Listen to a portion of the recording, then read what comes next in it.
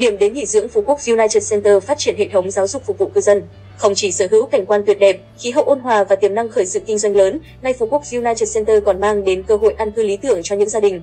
Muốn bỏ phố về biển để xây dựng cuộc sống nghỉ dưỡng nhưng vẫn đủ đầy tiện ích với sự xuất hiện của các cơ sở giáo dục đẳng cấp. Phú Quốc phát triển mọi mặt để sẵn sàng trở thành đô thị loại 1. Phú Quốc, thủ phủ du lịch nổi tiếng của Việt Nam đang trải qua những cột mốc phát triển vượt bậc trong những năm gần đây. Mục tiêu lớn của Phú Quốc là sớm trở thành đô thị biển, đảo độc đáo, đặc sắc, hướng tới đạt tiêu chuẩn đô thị loại 1 có không gian sống chất lượng, xanh, thông minh và bền vững. Theo quy hoạch, thành phố Phú Quốc đến 2030 sẽ có 550.000 dân, đến 2040 sẽ có 690.000 dân, tăng gần gấp 4 lần hiện tại, trong đó bao gồm dân số quy đổi từ khách du lịch, lao động tạm trú khoảng 250.000 người. Đảo Ngọc trong tương lai không chỉ là điểm đến hấp dẫn du khách mà còn hấp dẫn giới đầu tư kinh doanh, đội ngũ lao động, nhân sự chất lượng cao, chuyên gia về làm việc, sinh sống. Trong quy hoạch này, giáo dục là một trong những lĩnh vực đang được Phú Quốc quan tâm phát triển đặc biệt để sẵn sàng phục vụ cho thế hệ cư dân mới. Đón đầu xu thế phát triển của Phú Quốc, tập đoàn Vingroup vừa chính thức khởi công xây dựng trường liên cấp Vinschool Phú Quốc nằm trong siêu quần thể Phú Quốc United Center, phục vụ trực tiếp nhu cầu các gia đình đang sinh sống tại đây cũng như các gia đình có ý định an cư lâu dài tại thành phố đảo.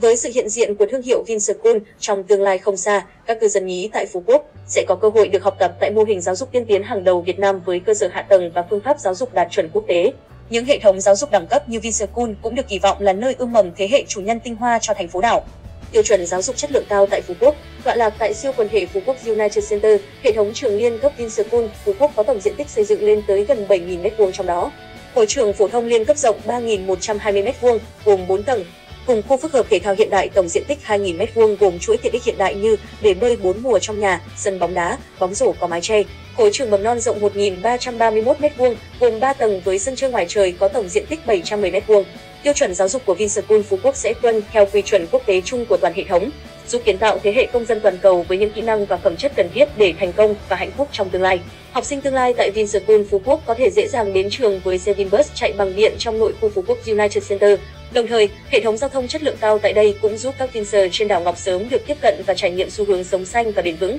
Song song với việc khởi công xây dựng trường liên cấp Vinschool tại Phú Quốc, Vingroup đang dục dịch kế hoạch ra mắt dự án He Năm Way Phú Quốc với hàng ngàn căn hộ biển, mang đến chốn ăn cư đẳng cấp chưa từng có tại đảo Ngọc. He Năm Way Phú Quốc là dòng sản phẩm căn hộ biển phục vụ nhu cầu sống nghỉ dưỡng và đầu tư linh hoạt, an toàn của các gia đình tại địa phương cũng như các cư dân có ý muốn định cư tại thành phố đảo. Sự xuất hiện của Vinschool cùng quý căn hộ biển He Năm Way Phú Quốc sẽ đưa siêu quần thể Phú Quốc United Center trở thành one stop destination, một điểm đến mọi nhu cầu, hoàn thiện bức tranh đô thị biển phồn thịnh tại phía Bắc đảo Ngọc. Đặc biệt, với điểm tựa có 102 Phú Quốc United Center, The Năm được nhiều nhà đầu tư đánh giá vừa là nơi ăn cư lý tưởng vừa là chốn đầu tư tiềm năng, được thị trường đón chờ khi đáp ứng trọn vẹn mọi nhu cầu sống, hưởng thụ, nghỉ ngơi, vui chơi, đầu tư, kinh doanh tại thành phố đảo với thiên nhiên hấp dẫn hàng đầu thế giới.